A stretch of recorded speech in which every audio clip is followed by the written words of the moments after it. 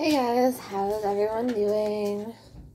Today is Monday, um, February 15th. Sorry, I had a brain freeze there.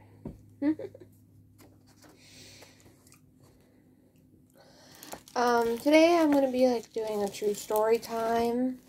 Uh, instead of, like, saying if, if it's a crime scene one, or, or not a crime scene, but, like, a crime story or whatever, I'm just to say, like, it's based on a true story. And that's all it is to it. But here is an update on this. I tried diamond painting yesterday, and I just, like, couldn't get into it, and it was just like one of those days, you know, where you just don't want to do it. And sometimes you just need that break, a little bit of that break as well.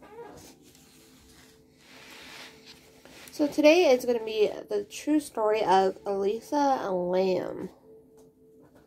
I watched the documentary on Netflix, and that's why I kind of, you know, did this, um, did this case. It was very interesting, you know, and I was 16 at the time because it, it was 20. Yeah, sorry, 2013. So I was 16 at the time because I graduated. Uh, well, no, I couldn't be 16 at the time, could I? 2013. No, sorry, I would have been about.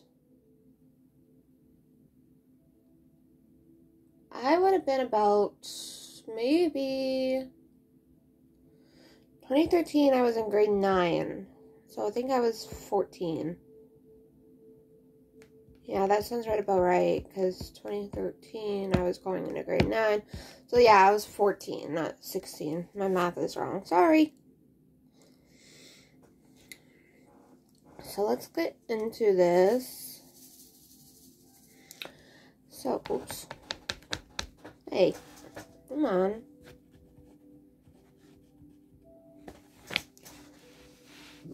Oh, excuse me.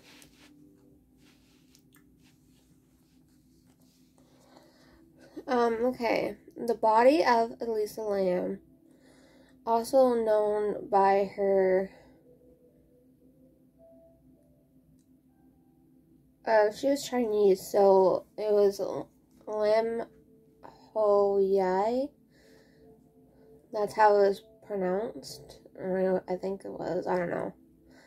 Um.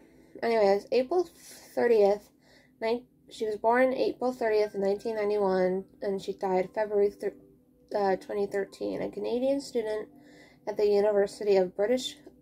Uh, yeah, University of British Columbia in Vancouver was recovered from a water tank at the top of the Cecil Hotel in downtown Los Angeles, which where she was staying at and, and preceding her death on February 19th, uh, 2013. She had uh, she had been reporting mi- missing at the beginning of the month. A maintenance worker at the hotel discovered her body when investigating guests' complaints about with the water supply and the pressure. Well, yeah, I mean, when I was watching it, I'm like, oh, that that just almost literally made me sick.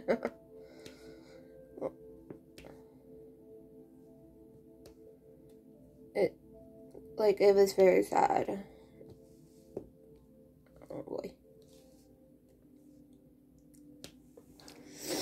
Okay. Um her disappearance had widely been reported interest in 5 days prior to the discovery of her body when the Los Angeles Police Department released a video the last time she was known to have been in the Cecil Hotel. In the footage, Lam is seen exciting and re, re or exiting and re entering um the elevator um talking and gesturing in the hallway outside and sometimes see, seeming to hide within the elevator. The video went viral on the internet, with how many viewer, viewers reporting that they found it unsettling. Explanations range from the claims of a paranormal involvement to bipolar disorder for which Lam took medication, and it also has been argued. Or it has also been that the video was altered prior to the release. So, like in the show, they like they show the actual video of it being uploaded, and to me, I think to be honest, it did kind of look a little, little bit tampered with. Um, but that's just my opinion. I know there's a lot of people that were on YouTube back then and talking about her and, you know,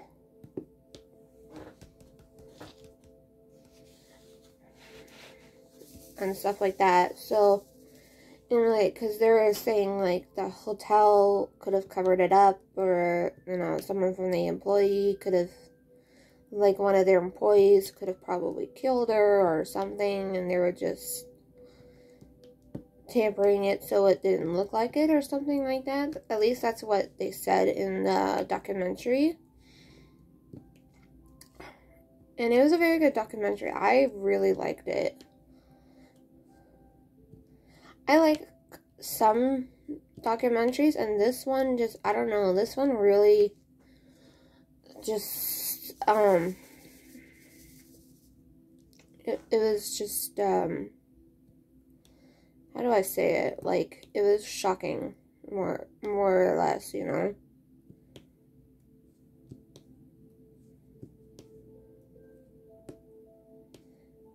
and a lot of people actually like a lot of the youtubers and stuff like that they actually went to the hotel and they actually got a chance to go up to the rooftop and you know stuff like that but i know it's closed now the hotel as last that they said in the document was that half of it was being put into affordable housing and then the other one's actually going to be a hotel, like the other half of it's going to be like a hotel. But, yeah. I don't know. So, anyways. The, circus, the circumstances of Lam's death once she was found also raised questions, especially in the light of the hotel, hotel's history, in relation to other notable deaths and mur- murderers. So that hotel had a lot of deaths and a lot of murders happened in that hotel. So that's why they're saying that.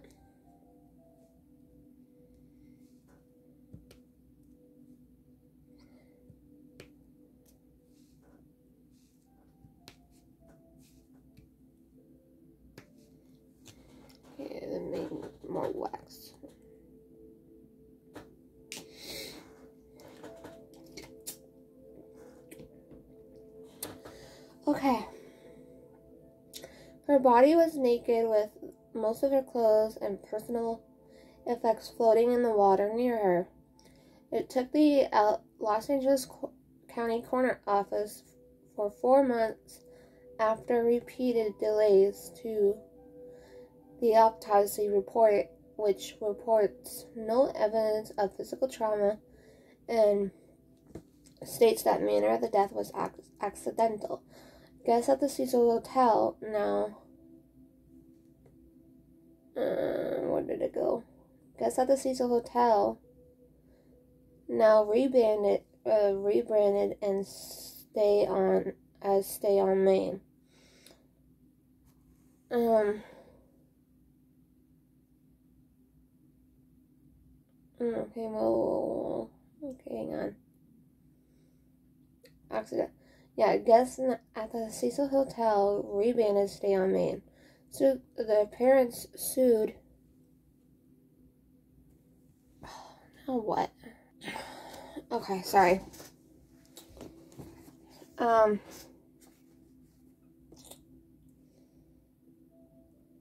Her parents sued the hotel over the incidents of Lam's uh, death.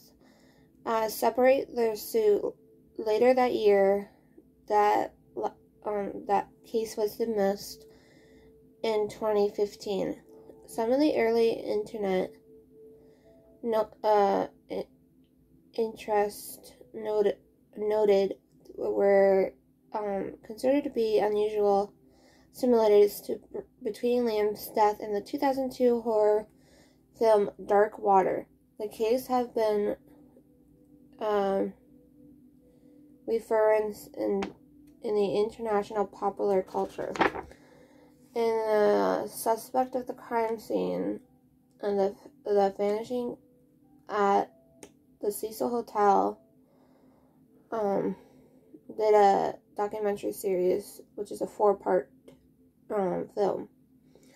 On her trip to California, Lam traveled al- alone on the Ant, track and intercity buses. She visited San, San Diego and posted fo- photos were taken on the social media. On January 26, she arrived in Los Angeles after two days. She checked in a hotel near downtown Skid Row, which is really dangerous. Like they they they said it on the the, the documentary that it's like one of the worst places to be in Los Angeles, in LA. Um, Lam was in, in initially assigned a shared room on the hotel's fifth floor. However, her roommates complained about what the um, hotel's lawyer w- would later describe as certain odd behavior. As then, Lam was moved to a room of her own uh, after two days. Um, built as a business hotel in the 1920s, the Cecil had significant financial difficulties during the Great Depression of 1930s and never recaptured um, its original market as downtown uh, decayed around in the late 20th century. Several of the Los Angeles more are um, more notable murderers have happened at have or connections at the hotel. In 1664, Goldie Osgood, the pigeon lady of Pershing Square, was raped and murdered in her room at the Cecil. A crime that has never been resolved. Serial killers Jack under Unterweger and Richard Ram Ramirez, yeah, both resided uh, resided at the Cecil Hotel. They have also been suicides, of which also killed a pedestrian outside of the front of the entrance of the of the hotel. After residents, uh, after recent reservation uh, renovations, it has tried to market uh, itself as a boutique hotel, but the reputation lingers. The Cecil Hotel will reveal to you whatever it is you're a fugitive from, says Steve X, X Erickson. Sorry, a journalist who spent the night after in the hotel after Lam's death. Sorry. I'm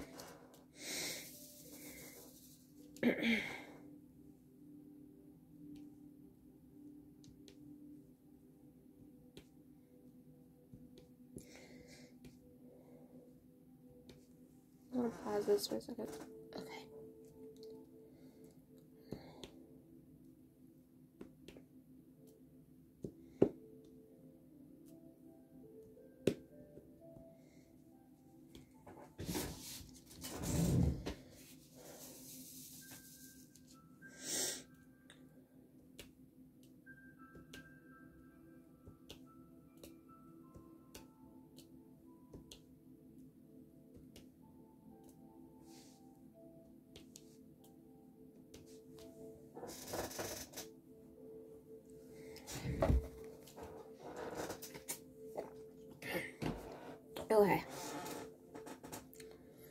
Liam has been diagnosed with bipolar dis- disorder and depression.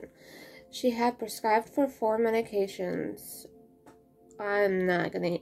Um, Wellbutrin or Welbert, Wellbutrin, Lamictal, Cyril Quit, and I don't even want to X X Effexor.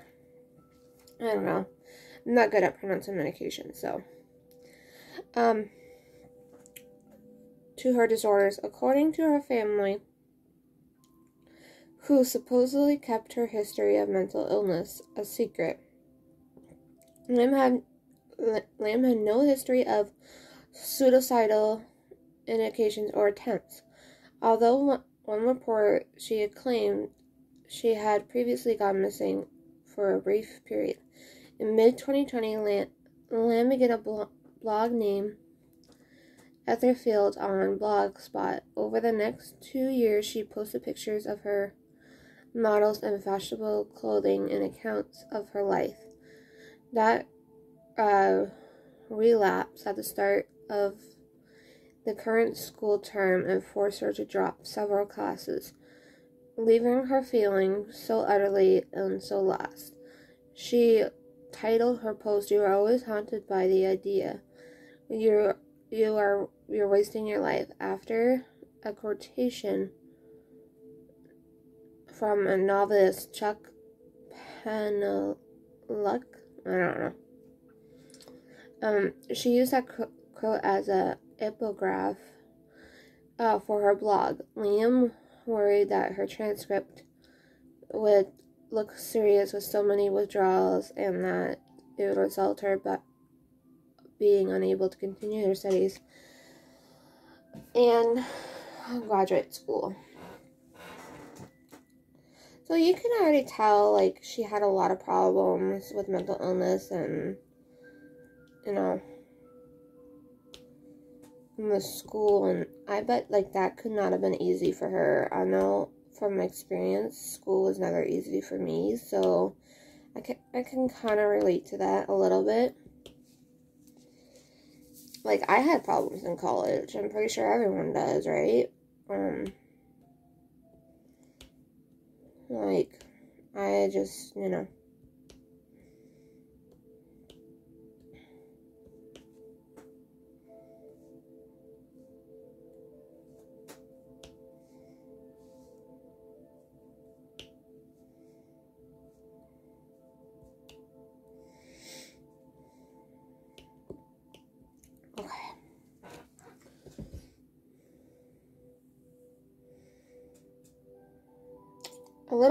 two years, Lam had started blogging. She announced that she would be abandoning her blog for another she had started on Tumblr.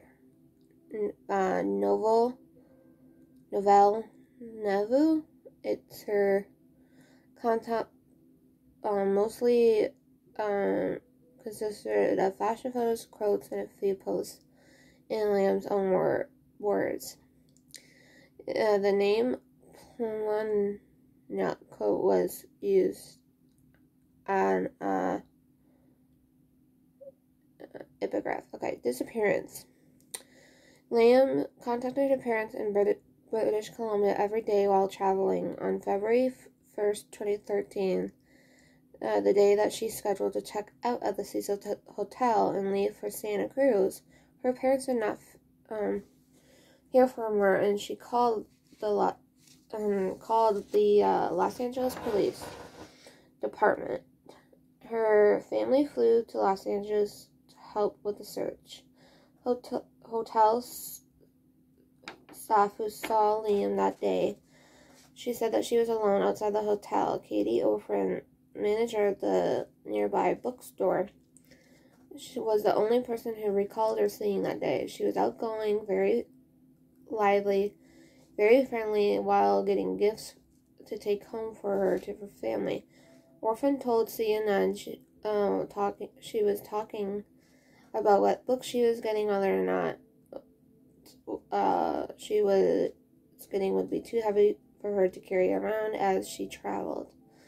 Orphan added uh, police shirts to the hotel the, the, uh, to the extent um, they legally could. They searched Lam's room. They had no dogs, or sorry, they had dogs go through uh, the building, including the rooftop, but the canines were unsuccess- unsuccessful of discovering her scent.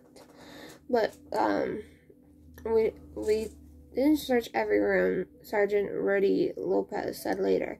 We could only do that if it um, if we had probable cause to believe a, a crime scene had been committed on February 6th, a week after Lam's death. Alapa uh, de- decided more help was needed. Flyers of her image were posted in the neighborhood and online. It brought the case to the public's attention and throughout the media. media.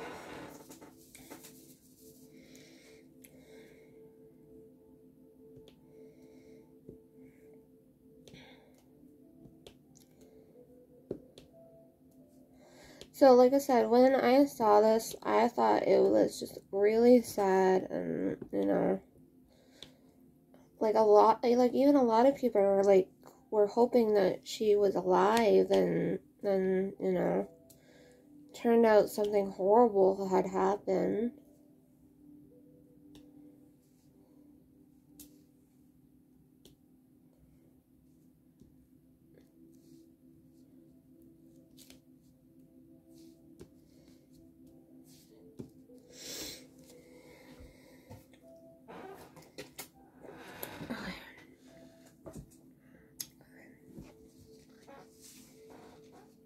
Elevator video. On February 15th, another week with no sign of Liam Lapid release, or, or sorry, Los Angeles Police Department released a video of the, the last known um, sighting of her taken in one of the Cecil Hotel's elevator elevators by a, a video of su surveillance camera on February 1st and approximately two and a half minutes long, Lam alone makes unusual moves and gestures, leaving the elevator at one point while its doors remain open. Even after she appears, she has pressed every button. When the doors fail to close, she leaves, and then the doors close later. So, like in the documentary, she Hang on.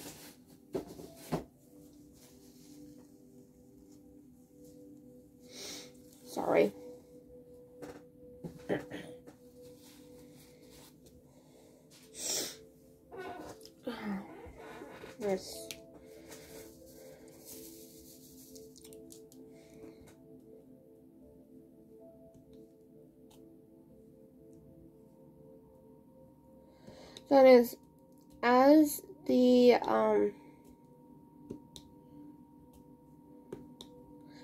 in the documentary like it was saying that like you know somebody could have stopped the elevator for her not being able to go out.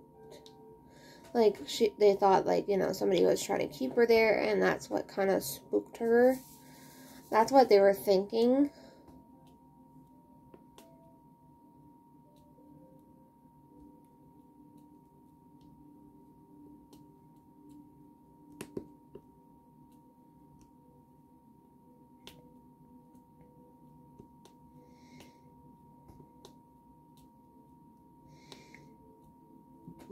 like I said, I'm not gonna give everything away from the documentary. So if you're if you were ever interested in this case, then I would go watch the documentary. That's all I can say. I think the next um, one that I'm going to be reading to you is the case of Gabriel Fernandez. Oh, that one's really... it was horrible. But anyways, um, okay.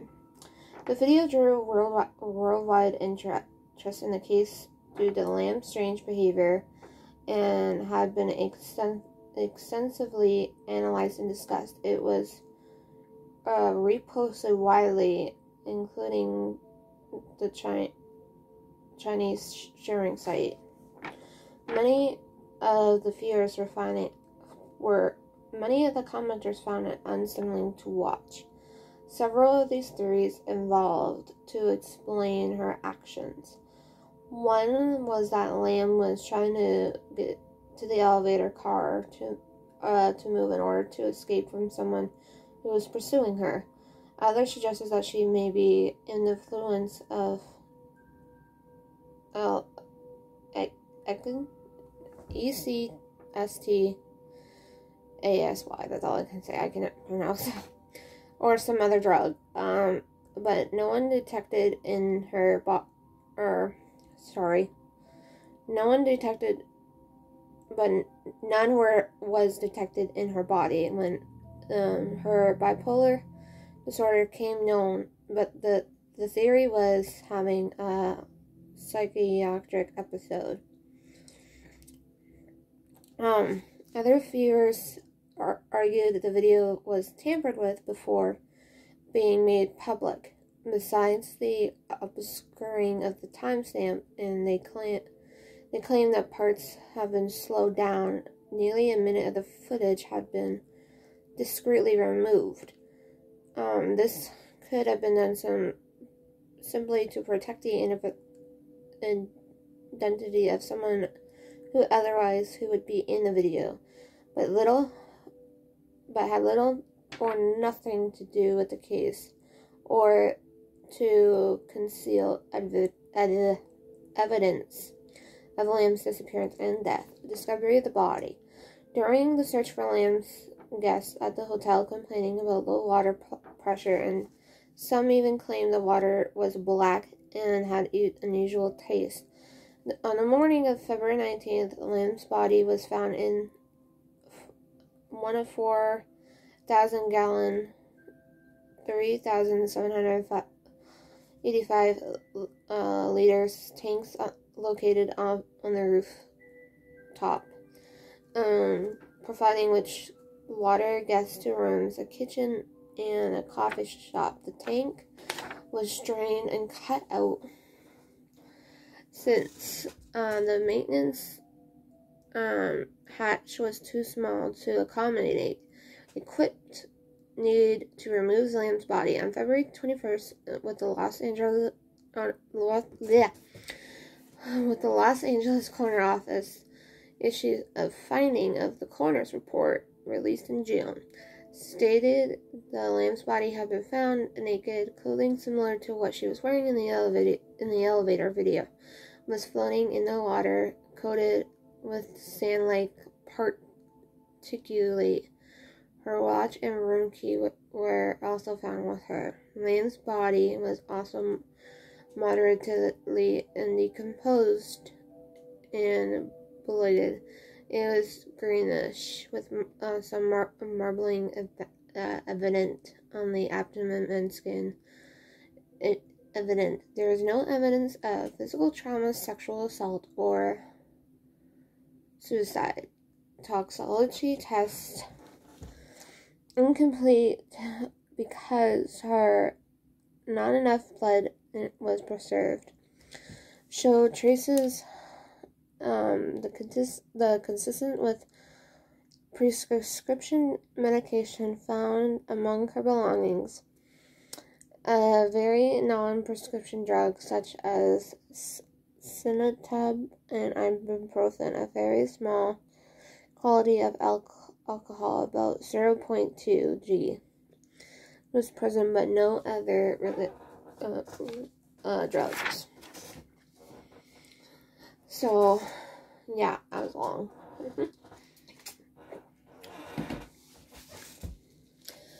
so, if you guys watched any of the documentary or knew about the case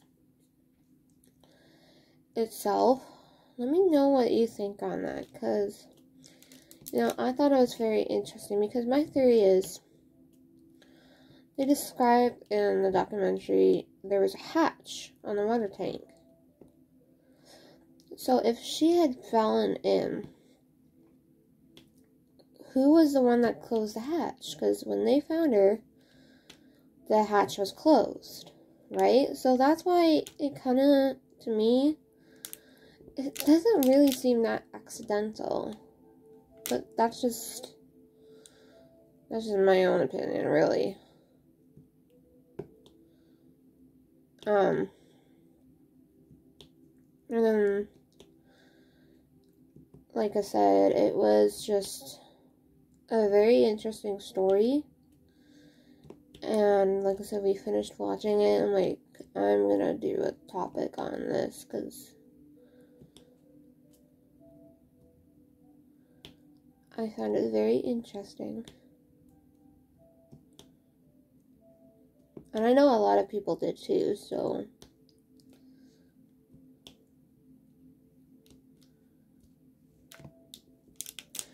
Alrighty, I think I'm to end the video here. It's been about half hour. So, I hope you guys have a good rest of the day and a happy family day.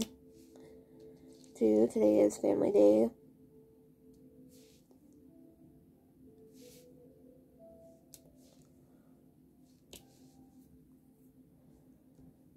We don't do nothing to celebrate it or anything, so.